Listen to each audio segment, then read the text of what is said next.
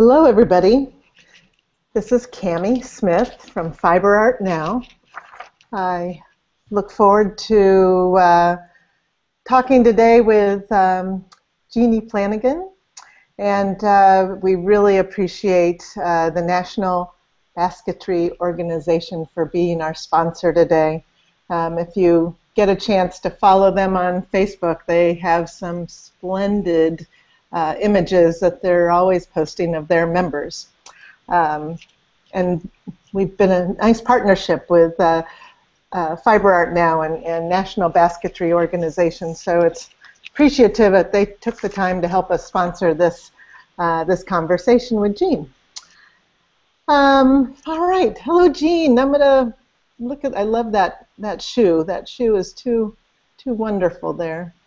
Hi. Um, hi. live from your studio in the New England area. Um, I wanted to, uh, we, this is going to be fun because Jean's got uh, the, her laptop on rollers, and so uh, we're going to be rolling around her studio and getting a real high-tech uh, bird's eye view. Um, okay, so good. Victoria, you're on the, the, we have a person here online that's having trouble getting, not getting any audio. I hope that's going to work. Sometimes going out and in again helps, I know.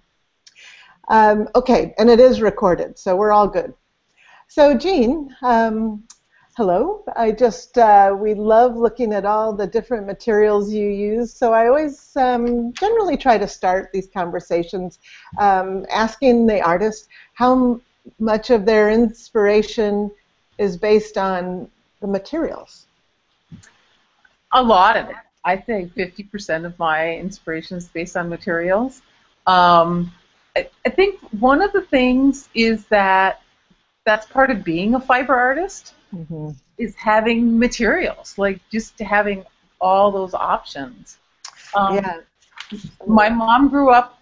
My I grew up in my mom's marine canvas shops, um, sewing push boat cushions, and um, you know, and just what using industrial fabrics and industrial machines.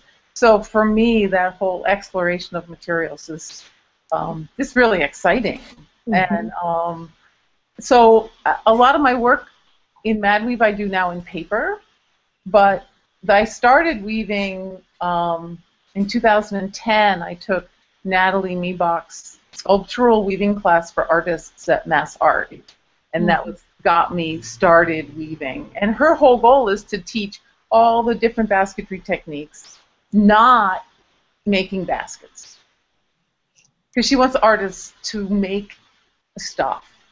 So that she wants you to, to do work, and then your final project to sort of incorporate whatever medium you've always worked in before. So I did. I just I wove this aquarium, which you're seeing some of the images, Oh, they're fabulous.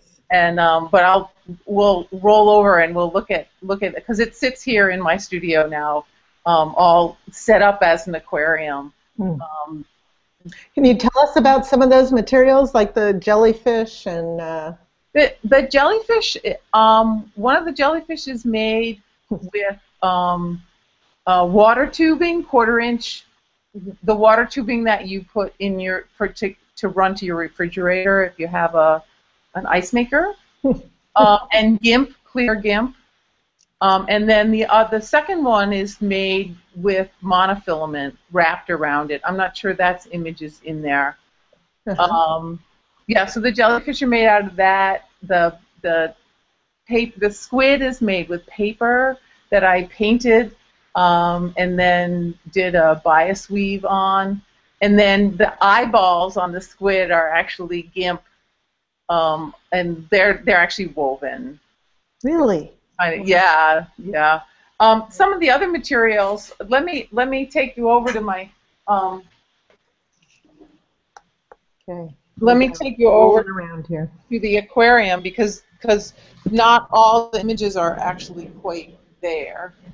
Not all the materials are there. Um, so the the fish. Let's see. There we are.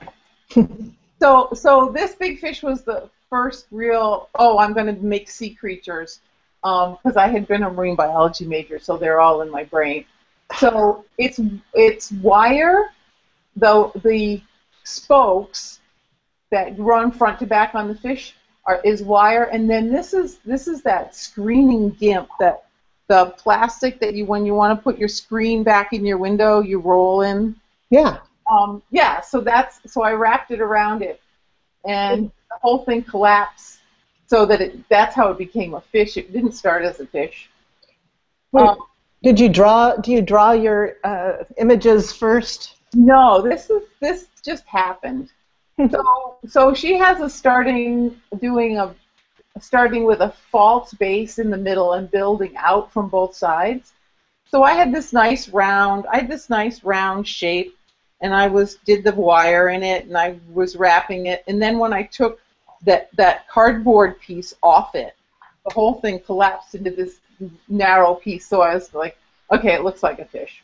So I finished weaving it. And the the this is black gimp that the whole face is made out of. Hmm. Um, and this is this is a fang-tooth fish. Uh, so I use nails. So these are all black nails that make the fins and the um, thing. And then in in continuing with the nails, I have this. Um, let's let's see. Lift it up. Yeah, there we go. there it goes.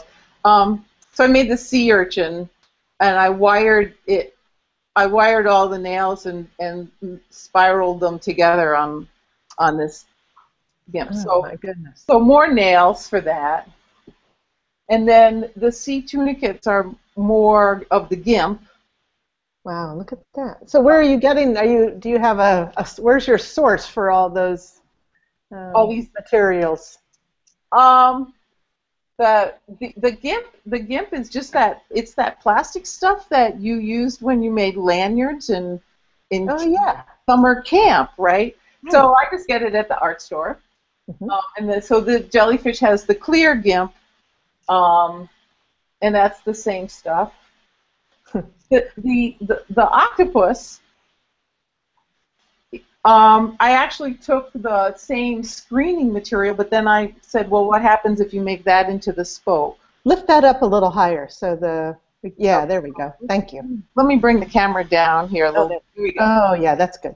Oh, so so then I took I had this um, cord and shoelaces, and so he's woven around that same gimp. So he's actually soft Uh huh. um, because he really has that whole rubber that rubber inside. um, and you know, and then I then I just sort of went off from there. The horseshoe crab is made um, is made with um, half with smoked reed, Mhm. and my brittle starfish is actually like this foam filter. Somebody handed me this. Go, oh, you weave with things, so here's this, and I had no idea what this was. Um, and but then I took eye, eyelet um, and braided it like the Oh, yeah. eyelash yarn. hmm and because because then I was like, oh, it has to be a brittle starfish. So at some point I started doing the well, what material would make this?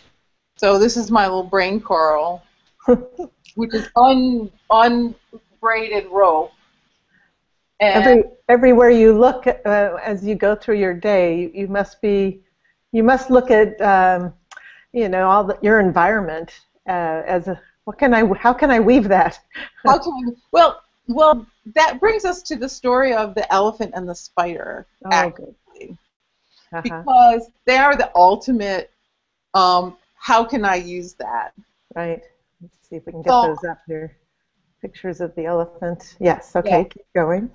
Yeah. So there, there I was.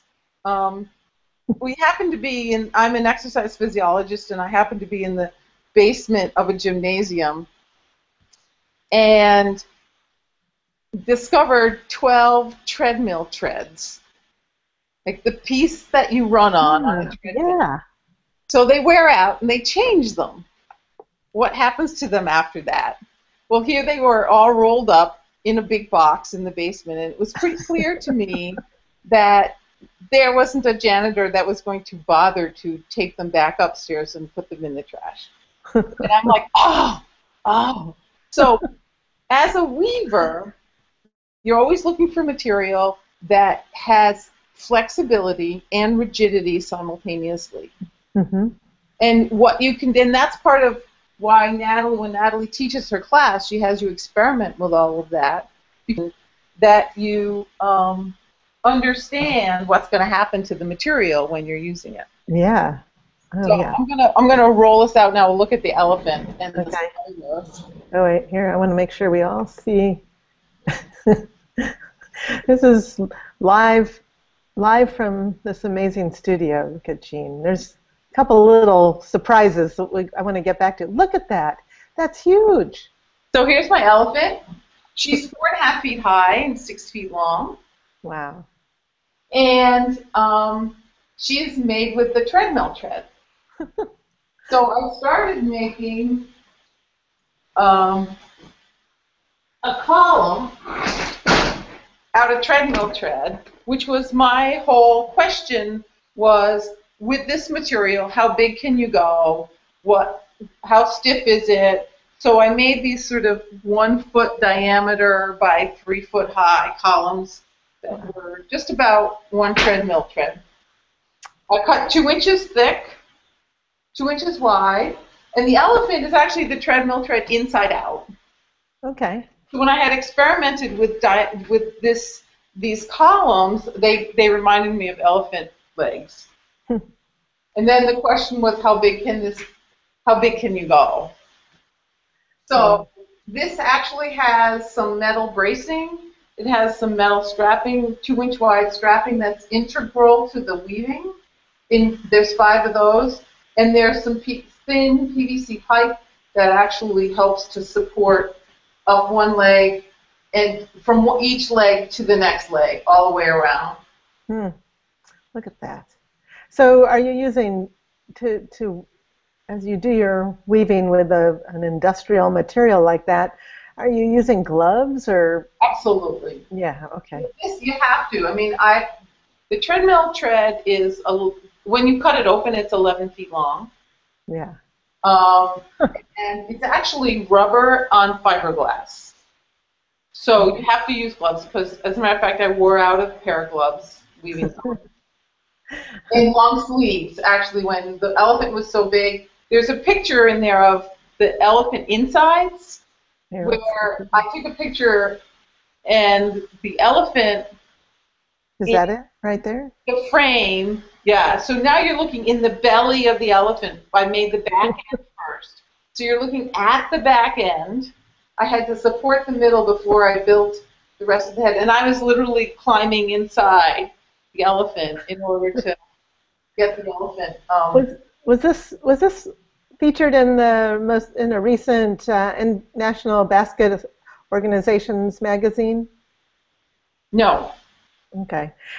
How? What kind of weave is this? What's this called? this is Madweave. This is the Mad Weave. Okay. Yeah, this is the Madweave. The Madweave was in the recent magazine, but not the elephant.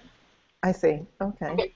Um, yeah, so the Mad Weave is tri- as a triaxial uh, weave. It goes in three directions. Um, so it's actually on the elephant. It's pretty easy to see Yeah. the three directions. Yeah. Um, most people know um, the hexagon weave as sort of the easiest way to um, recognize a triaxial. Hexagon weave is a triaxial weave, but it doesn't have this star pattern in the middle of it. So it's really just this open. Wow, that's so So beautiful. hexagon weave is a really open weave, but then you take these six weavers and you you stuff them into the opening of the hexagon. Okay. I mean, that's not how you build it, but it's so tight that it becomes structural, which is what I love about hexa- the Mad Weave, is that in fact, when you turn a corner, so this corner right here, can you see this corner? Yeah. Yeah. Yeah. Okay, so this corner right here is a five-pointed star instead of the six-pointed star that we mostly see. Mhm. Um, and that turns a 60-degree corner. Mhm. Okay. and then then you turn then you can turn um, but you cannot turn a 90 degree corner so you can't make a box Hmm. Impossible. Interesting. Uh-huh. Which i really love so it, it takes on all the organic forms Well, it does seem uh, organic, the whole nature of, of Madweave, but it also seems like it allows you to create uh, shapes that would might be harder with a different um, type of weaving technique. yeah i think I, for me it's all about the shape i'm gonna we're gonna drive over to see the spider Okay, we're going to drive over on this. Uh, drive over on this talk a little bit more Oh, look at that splendid spider! Wow. So when I got to the elephant trunk, I um, I, I was trying to do the this narrow mad weave, and then how do you how do you control how narrow it is and ma- making corners without making the whole thing disappear? So it became making all these legs all different was my goal. Hmm. Um, and then I had to attach the eight legs together and build this abdomen and Hmm. um, yeah. So the elephant took me about six months, and the spider took me about eight months.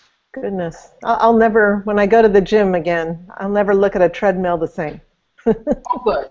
and then I have I riveted them together. So I have all these stainless steel rivets that hold the treadmill edges together whenever you ran out of a weaver or they lap back on each other.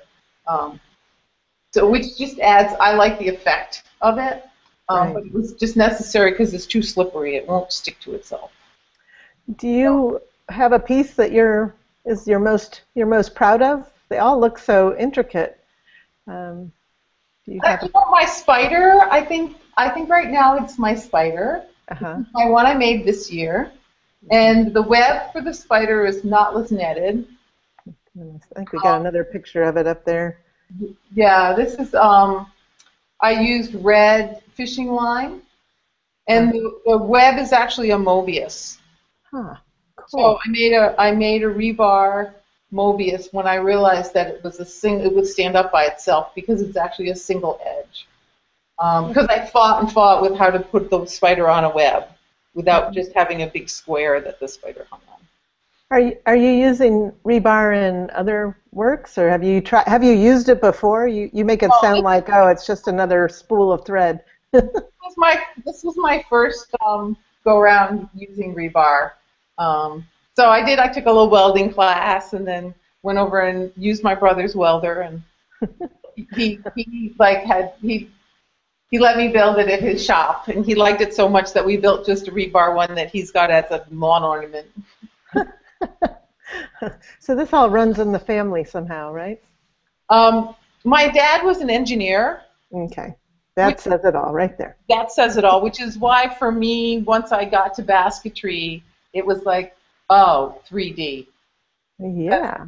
Yeah, it was took fiber arts to three dimension, and that just that was it. I'm I was done searching. That's so cool when that happens, when you feel that uh, connection with um, a certain process that that's all you want to do.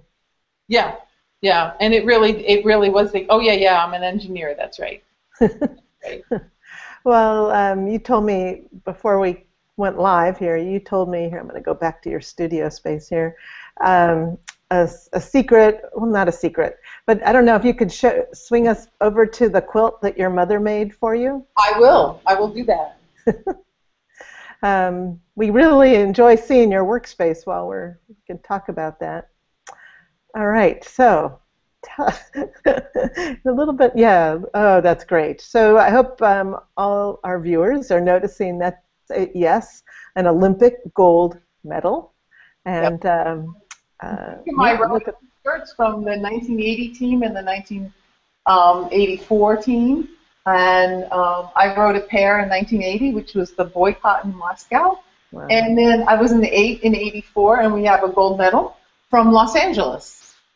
That's really a, uh, an impressive, um, impressive quilt that you have there. But you're, it, it's interesting that you're became a weaver and how your the mind thinks because that we were talking a little bit about the rhythm of rowing And you were mentioning how you get that same rhythm when you're weaving. Oh yeah, the whole the whole rhythm thing for me, I think um, I think that led me to rowing as much as anything else. I had been a swimmer, which is also a very rhythmic. I I just I like that. Um, I like the whole rhythm thing. So weaving is that over and under and rhythm. So it's important. Well, I'm glad that's hanging in your studio. Do you do you tell us about your studio? Um, are you do you go there every day? Is it part of your house or how? It's not part of my house. You know, I'm going to roll back into the other room. Okay.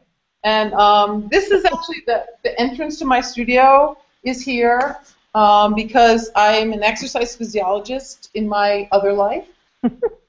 and so this is actually an exercise room. It's kind of being taken over by creatures at this point, but it's still an exercise room where I can teach exercise. And then the back room is my work studio space. So we'll go back there. And look at all those those drawers and buckets. Drawers and buckets.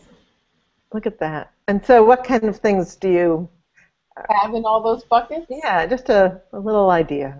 Okay, so there's fabric in most of them. Is it regular cotton fabric, or when you say fabric, you know, you've been you grew up with the marine fabrics, the marine I industry fabric. So I have undyed fabric, wool. I have them labeled undyed, wool and flannel, antiques and imported, commercial fabric, linens, because I have this whole acquired set of antique linens, hmm. um, dyed hemps and silks. I have another.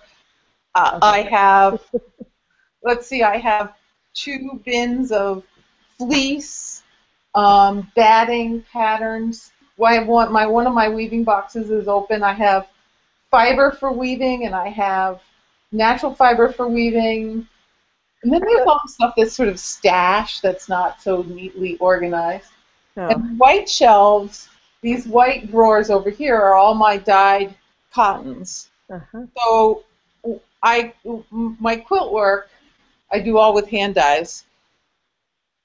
I teach I teach fabric dyeing down at my my mother's quilt guild in South Carolina. Uh huh. Nice. And um, so, are you are those sketchbooks? I, I I know I was interested in if you sketch or how do you? I know some of it just comes as you begin to weave, but when you're getting an idea, I did some sketches. Um, or are you looking at images and? I'm looking. I'm looking at images a lot, and I re, I reference images over and over again. Mm-hmm. Uh, so we're going to come over and look at some. So when I'm when I'm making my elephant. Oh, look at that. So this is my little model I made. Mm-hmm. And it was too cutesy. Decided that that wasn't the shape of a body I wanted for my elephant, but the head worked out pretty well. So then I built another model. Yeah. Um, because the thing with the thing with Madweave, because these corners are determining the shape, I'm not sure what the shape's going to be. So I had to build these models. I really didn't like where this head was going, so I stopped building the head because I liked that one already. So I'm, I used this basic body textile on my big elephant. And then when I was building my spider, I did the same kind of thing. I built legs, and then I sort of tried building a body to figure out where it would be and where it might go. Um, uh-huh. And you can see this spider is way different than the one that I ultimately ended up with. Um, but I did get some legs. Uh, you know, so so there's more in the studies. I tend to experiment more with the shape in real weaving rather than drawing. Well, I love your hands back there. It's, you know, Rembrandt was notorious for drawing and sketching and right. his own hand, which is so nice to I like to sketch my hand too, but that's a really nice. I hope you frame that someday. That's, that's well, that's that's, really that's actually my very first art class I took at Mass Art, which was the semester before I took my weaving class. Was huh. a drawing class, and I'd never taken an art class before. And this was one of our assignments was 100 hands over the week. Oh, that's a great assignment. I like It- that. A lot to do, though, isn't it? it was it was a lot and um, but you start to just draw one and forget about whether it's beautiful or ugly or whether it worked or didn't work whether the hand looks like a hand or not and you put another one down and put another one down because it's due next week do you have any tools that uh, are your favorite tools? um, i don't you know most of my weaving is done in paper Hmm. um, so so the, the one of my tools i use i actually hand dye my paper with fabric dyes Okay. Um, I, I take the whole sheet, I use watercolor paper, heavy watercolor paper, and I paint it with the soda ash, Oh, yeah. and then I then I basically use the fabric dyes like watercolor. Um, which I really I really love the effect of it, Right. and it's actually waterproof. It actually doesn't run if you get water on it, Huh. Um, because the fabric dye it actually bonds to the fiber like it does in fabric. Um, so it so it creates a great effect. That's nice. In in building, I have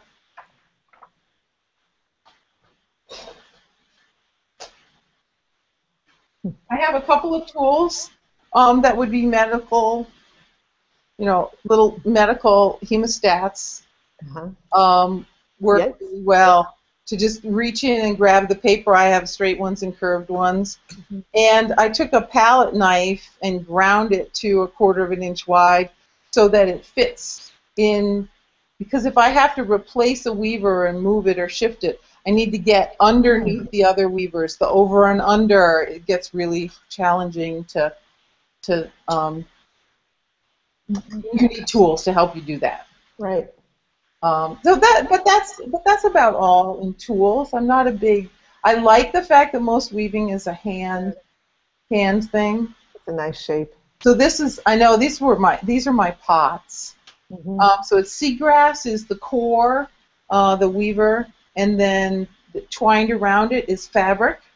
So some of my hand dyed fabrics, um, because I've been working to figure out how to actually use fabric in weaving, and it's not easy.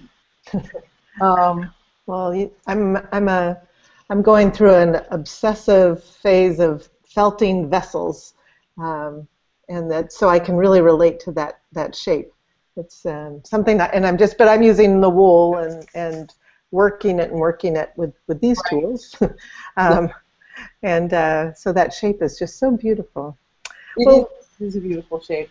Well, I have. I wanted to know. Well, I know Victoria's got a nice image here. Um, I just can't. I just love. Uh, is it? Those are just tapes, right? That's But, well, measuring it's tape, or- that that basket's called 300 feet Hmm. um, because it is a 300 foot tape measure that was that my sister works in a hardware store so she collects materials for me I like that. me it was all it, it had gotten returned the, the casing for it had broken and as you can well imagine a 300 foot long tape measure just doesn't so I unknotted it and I cut it up and and it's great because there's little red numbers all over it that are the feet markings so you can find the one that says 300 on it and and um and it still has the the metal ends on it and stuff so oh, nice. yeah it's a nice it's it's the piece is about 18 inches high so that one got sold to a woman who gave it to her sister-in-law who collects tape measures and measuring tools and stuff Oh, fantastic. That's great. yeah That's Yeah. great. Do you, do you, you seem so prolific? Do you, you know, ever does your creativity ever come to a halt? Look at all these materials, and and if so, how do you work through it, or or or do you? Do you just keep moving through? Hold, hold on that one, Victoria. That's so colorful. Okay, that's my purple passion, which um, yeah, it's a great piece. It, it, it's um, it's not in good shape anymore because it it I shipped it off to a juried event and it didn't come back whole, Unfortunately. So I haven't I sort of haven't dealt with the long term of that. But um, but you know, I always have a multitude of projects going on, and I think that that's for me that's what keeps the create creativity going because I have projects that they just sit there and I have no idea how to proceed forward with them. Um, so I don't. Right. I might go and tackle them, go back to them, and or I might just suddenly say, "Oh, it's just I'm doing the wrong thing," and turn around and do something else. That shoe. Yes, that I made shoe. that, I made that shoe for my um, my niece when she got married. She was a model, and she just loves her shoes. I think we we had uh, we've shown this in Fiber Art Now magazine. Uh, some some of your um, pieces, but I think Yeah. um, Um, but and so as yeah there look at that uh, that image and so the curly thing is- curling the tops. yeah that's I really like I really like curling the tops. Um, although other people are like it detracts from the weave itself. So this is a giant sea clam. My nephew, when he got married, was was um, living out in Hawaii, and um, they spent time in the Marshall Islands with giant sea clams. So the challenge of again that whole challenge of just can you make one? I think is the driving force um, someone someone's asking the question how do you curl those pieces It's like quilling. I actually, my brother actually took a. I was already doing it, and I was using a, one of my clips, and I was actually spinning. I actually turn it on the clip. Um, but my brother took a nail for me, and he ground it down, and he put a little slot in it, so I can slide it on the paper, and then I can spin it. But it is, it's it's turned like quilling. You know to- Yeah, right. So um, someone else is asking um, about, uh, asked if you had attended the recent NBO conference in St. Paul, um, Minnesota. Thank you, Victoria. Look at the. Maybe you could talk a little bit about the those pieces and um, and the conference. Yeah, I did. I was just at the conference in um, Minneapolis, and I went to the one two years ago that was in Gatlinburg, Texas. And and this is this picture is um, it was at Macalester College, and this is in front of the cafeteria. And those big orange bases on the trees are wreath um, that a woman had. Artist had two. Uh, she had a couple of interns. I think there were three or four um, help her build them and spray paint them orange. Um, so we walked by them every day when we went from our classrooms to the cafeteria and watched them build and chatted with them while they were doing it. And um, they're going to stay up there for the year. So they'll start to disintegrate, and I'm really looking forward to seeing snow on them because there's a little bubble at the top of the orange that'll collect snow, and I think they'll look really interesting. Uh, have you thought of doing um, more outside yourself, or does the elephant ever go outside? The elephant does actually. There's some pictures of the elephant on parade.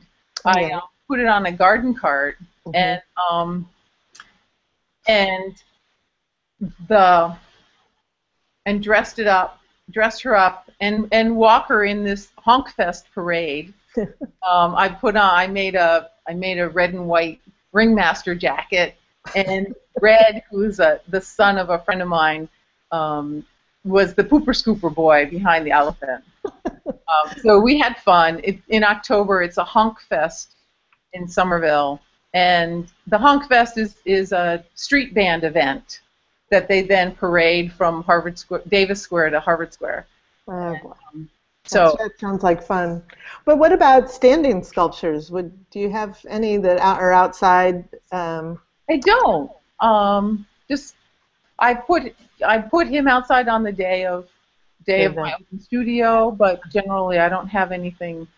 Um, I think outdoor sculptures are problematic in terms of you know these are soft enough to not take snow load. mhm, People can't climb on them. That's true. You know, so so I think there's some safety issues around. I've I've thought a lot about it, but I haven't haven't broached that subject.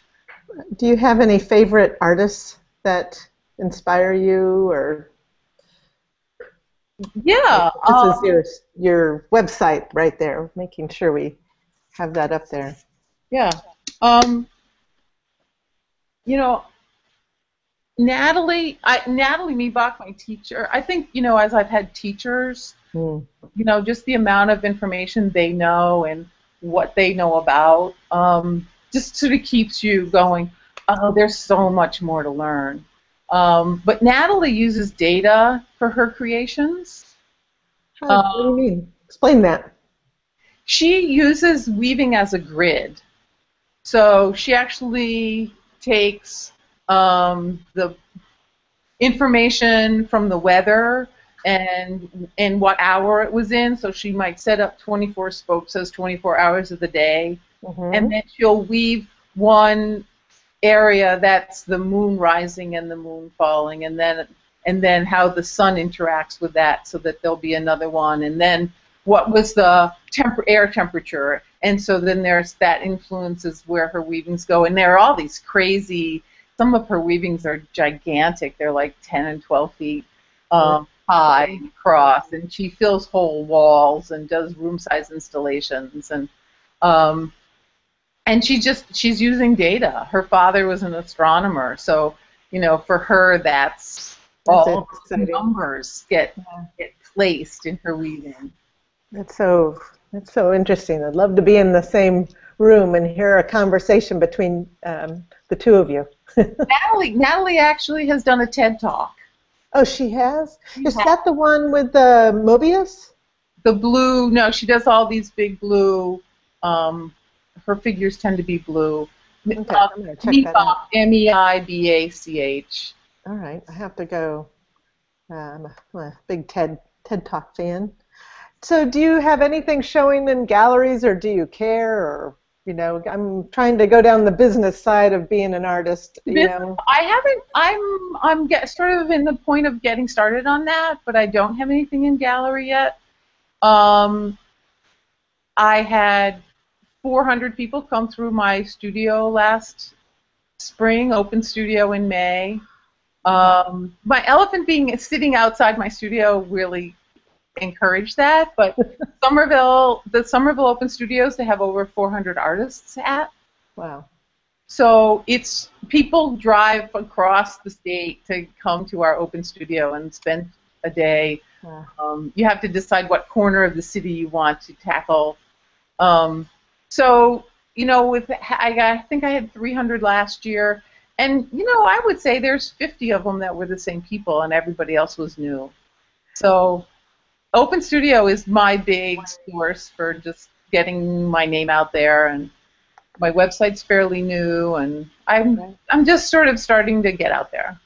Yeah, promotion is a hard, um, hard area, I think, for most creative people to, to tackle. it's not something you want to spend your time on. Um, Right. Someone, someone's asking um, on the chat was, it, can we spell the name of the artist that you, the, the teacher that you had with the TED Talk? Um, Nathalie N A. N A T H A L I E Okay. Miebach M E I B A C H. Okay, here I just typed it in for our. Hope I spelled that right. Good. Okay. Thanks for asking that question because yes, it, we want to make sure we keep that on our video for so we can all keep looking that up. Um, well, so do you? What do you have coming up in the future? You know, August is August is an interesting time of year for me because I've sort of, you know, I've finished whatever my major project is in May, and for Open Studio, and then I've sort of mopped up on all the other things that I just need to get done. In August is where I start to really think about um, what I'm going to be doing next year and ponder and do some experimental work, um, little stuff. I have a chair that I've acquired that needs to be recaned, but I'm thinking I might not recane it. I might actually use that opportunity to sort of make it live inside a vine growth. I don't know. I haven't I haven't sort of gotten all of that planned yet, but but I'm thinking like yeah, using using a piece of furniture inside the weaving Oh yeah, that'll be fun to, watch. Prospect. Um, let's see, Victoria's got some. Oh yeah, look at all that. There she is. There's There's- Nathalie Miebach's Yeah. work. Yes, I, we've had. I think we had some of her work in one of our issues at Fiber Art Now. I'm, I'm have. positive. We've. This is our fifth year. We're just starting uh, our fall. Will be the fifth anniversary of Fiber Art Now, and we're really excited about that. Yeah. Um, There's Nathalie's yeah, work. Look at all that data. Look at that data. Interesting. Oh, I'd love to hear um, hear her talk. Yeah, so go to her TED Talk, and she does musical scores, and um, she's- Well, also I want to. Oh yeah, I think I've seen this one, but I need to see it again.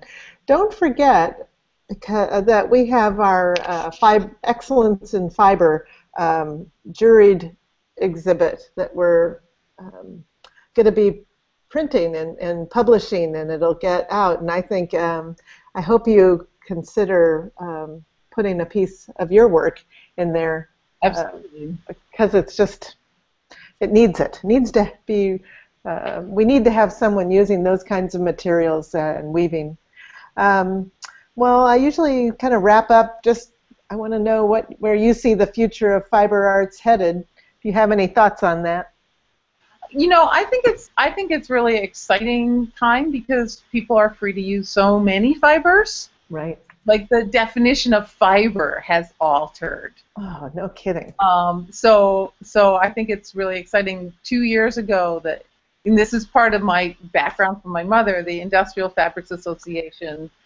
Um, um, show they have a national you know they have an annual event and it was in boston and i went and i got to go and say well and some people still knew my mother actually remembered my mom. But basically i went and i said i'm an artist and i'm interested in, i'm a fiber artist. I'm interested in you know industrial art. And they were so open and so like oh my god i don't think we've ever had an artist come in through this show. And but they were very excited about um, about that that whole possibility. And um, you know cones of, and and so right now in Boston and um, flying over Boston is um, uh, Oh yeah. Uh, what's her name's beautiful. the, the beautiful woven network. Yes. Hopefully, uh, some one of our. Could come up with the name because it has left me. Oh, and her work is so splendid. But you know, I went and saw her her piece up flying in Boston. It's like quarter of an acre large. It's they had to take panels off of buildings in order to anchor it down, and it, it it's it's audacious. And I'm like, I love the fact that's that Good word for it. the fiber that there's a fiber artist that's just being totally audacious. Ah, that's a, that is good. That is good. Yeah, and so I think that, that those two people represent very much represent um, where it's going. Yeah, I'm trying to. I'm on Google here, trying to see if I can find it. Um, Because we heard her talk at Mass Art when I was taking Nathalie's class. well, it was a, quite a buzz on the internet. Everybody was, you know, sharing that information and uh, oohing and eyeing about her her stuff. Yeah, yeah. Well, I want to thank you for you've been like extraordinary helping getting everything ready for our conversation and I really I genuinely appreciate um, your enthusiasm and your most of all your your mad weaving and your work it's really um, a delight to see it Well, Uh, thank you. I've been. I've had great fun. I was very excited about doing this with you today, and I want to thank Fiber Art Now and the National Basketry Organization, and Yes. who have been great and wonderful and accepting of everyone um, Yeah. that arrives. Yeah right well okay so I'm gonna sign off and um, Victoria thank you over there for making sure we got all the images up there um, and if this should be up on our website uh, shortly, and I'll, um, you know, then we can really start pushing it out, and people can watch it anytime at their convenience. So, anyway, thank you very much, Jeanne. Goodbye. Thank you. Goodbye. Thanks, Victoria. Thanks, Victoria.